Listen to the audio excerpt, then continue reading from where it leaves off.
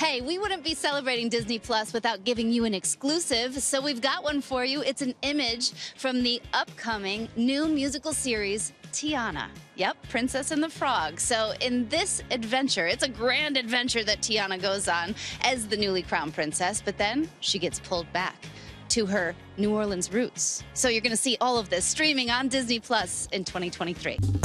Well, hey there, GMA fans. Robin Roberts here. Thanks for checking out our YouTube channel. Lots of great stuff here. So go on, click the subscribe button right over right over here to get more of awesome videos and content from GMA every day, anytime.